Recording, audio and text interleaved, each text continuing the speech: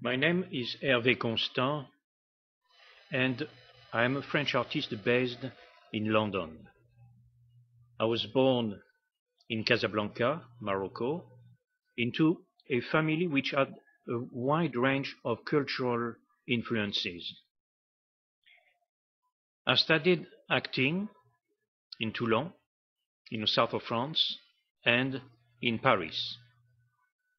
I came to London in the late 70s to improve my knowledge of the English speaking theatre. My first impression of London was that of a place much quieter, more personal, where people allowed you to be who you wanted to be. It is also during this period that I started painting drawing a lot. I was spending more and more time with my new passion for visual art.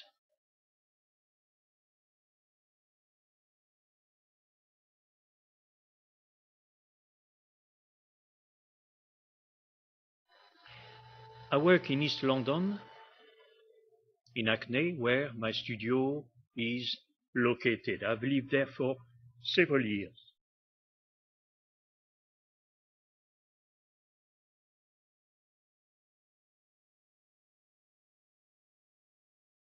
My studio is part of a large complex run by Space, an organization whose role is to support artists.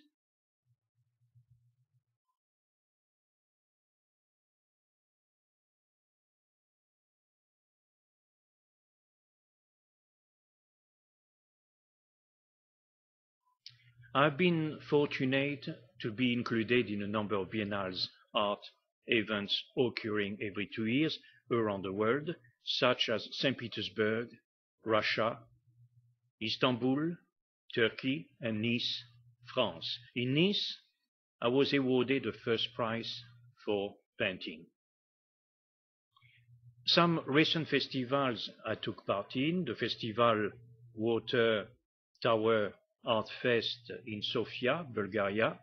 The work is entitled Uh, the Dream, 5 minutes sound installation. A four artist exhibition called Writ Large in Los Angeles, California.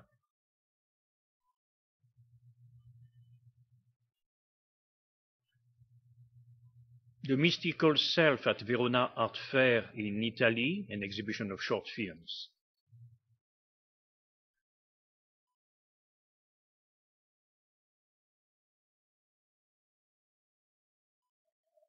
I remember that when I started painting, I focused on existential subjects describing certain absurdities in life. These were often done in a figurative manner. The topics were often very dark.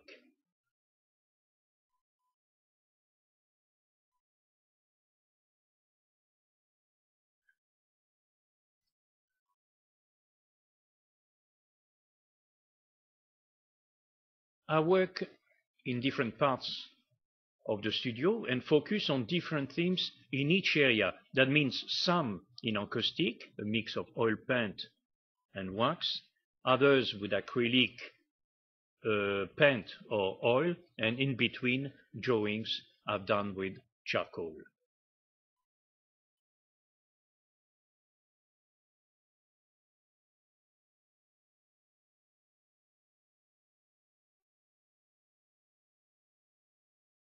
I can mention three that interested me. A large painting, five minutes, five by three meters, called The Flight of Icarus, made for the French Navy in Toulon.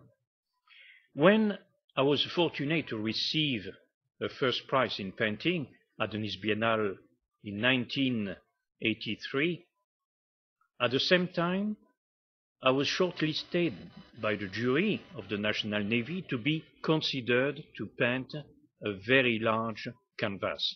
I decided to present for the competition a sketch depicting the flight of Icarus. My aim was to describe symbolically the tragedy of his flight. The story of Icarus comes from ancient Greek mythology. Icarus was trying to escape an island prison by flying with wings made of wax and feathers. By flying too high, a symbol for ambition, he went too close to the sun. The wax on his wings melted and he fell into the sea. I was fascinated by Icarus, enthusiasm and uh, his willingness to fly close to the sun and reach towards the god.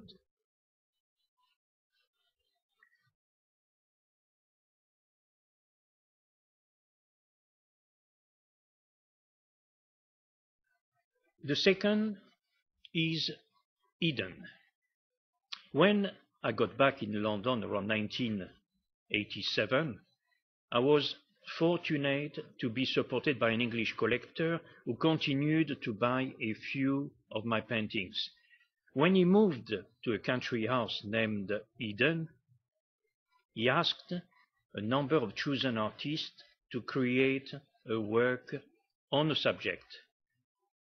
At that time, I was interested in artists such as a Giotto, Masaccio, artists living before the Renaissance period. I knew that Masaccio had created a mural on the theme of Adam and Eve. My proposal was to create something along the similar lines, and this was selected. The last one that I would like to mention here is a series of paintings based upon tarot cards. The cards originate in European card games from the 15th century.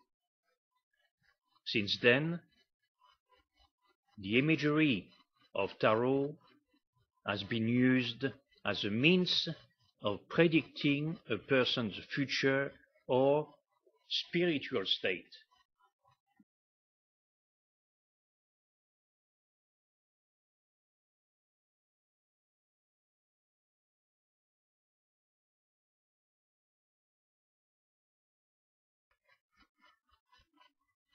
The painting isn't a recent one. It is called in French Oreille de Madame Mermet. That means ear of Madame Mermet. I am interested by the morbid, not especially by the morbid, but I like things uh, unusual. Basically, she was murdered and had enormous ears. Another painting from that series called uh, For Heaven's Sake is a painting was shown recently in Los Angeles, an installation. My painting was remade on a very large scale and four artists were invited to participate. The show was based uh, on text. Mine was like a cry by someone wanting to be prevented from killing. I found it very tragic and uh, moving, even if the text might come across as funny. Family Nest is a charcoal drawing on paper. It is a recent drawing.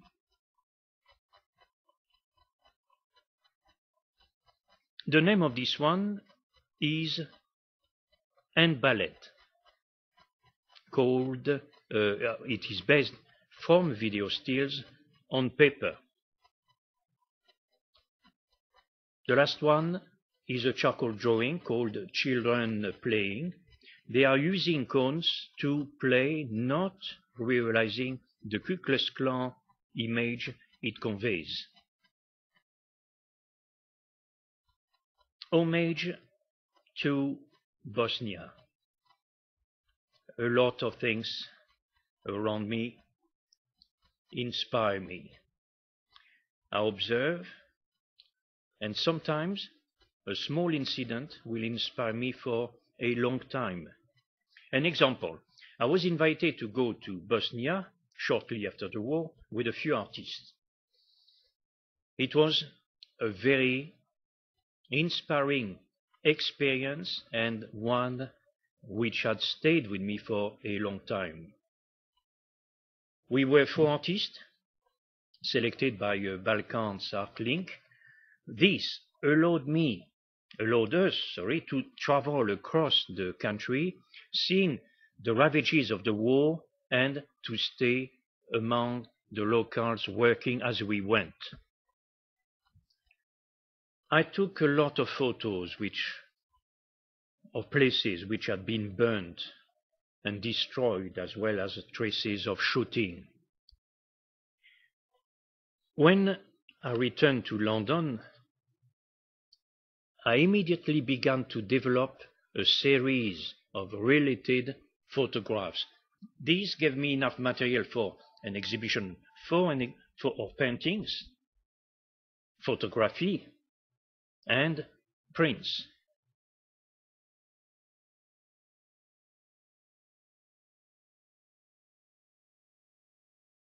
My work is based on my deep curiosity about human thought, human motivation, and behavior.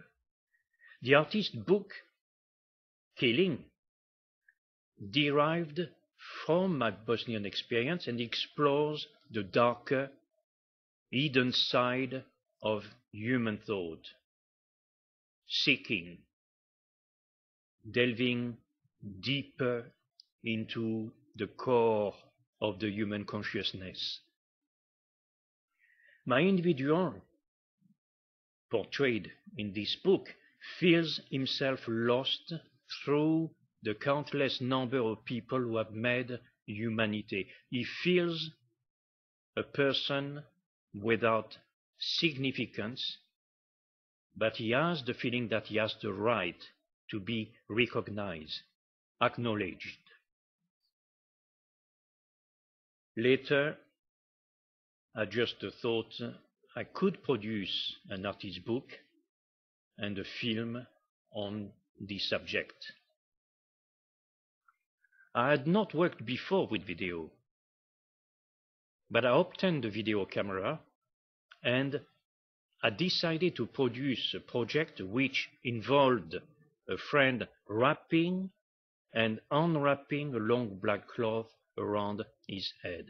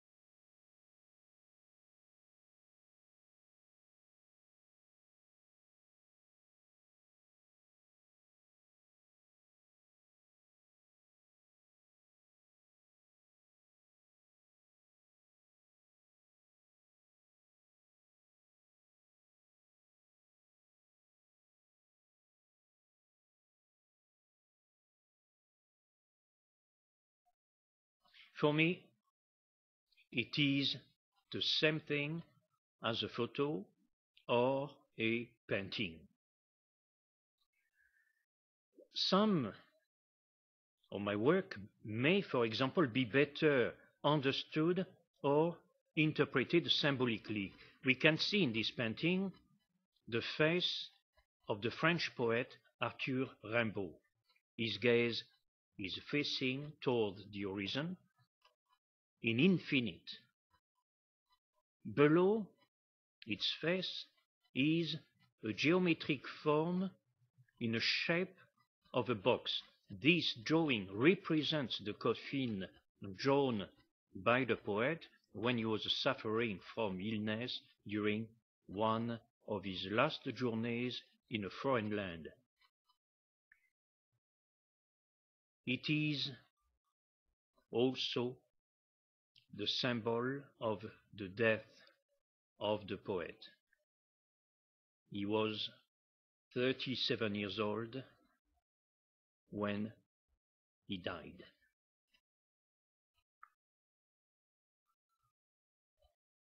The tower. It is true that people can be led and manipulated since a lot of symbols come from the unconscious. But my sense is that very often we make our own choice as regards the symbols painted. Certainly, the artist chooses the color which represents an expression or emotion. The tower card in tarot, for example, illustrates for me what is exciting in a creative process. The unknown is why I still feel a childlike excitement about this work, since there is a certain alchemy about it. It is because there is something that still surprises me, something that I don't know. Symbols have been with us for a very long time and their application is a natural one.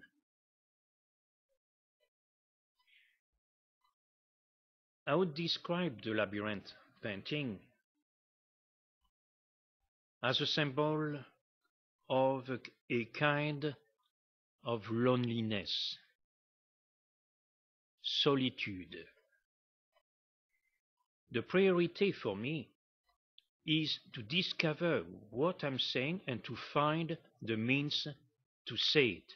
To do this requires a person to be oneself and not to worry too much about other people's negative or positive uh, statements. To be true to yourself, however, is often the very thing that other people do not like about you, since we are conditioned by upbringing, culture, nationality, and education. When I paint the gun, it will show the value of being at peace with my own mental functions. Humans can go through a phase of experiencing a fear of their own potential for violence. So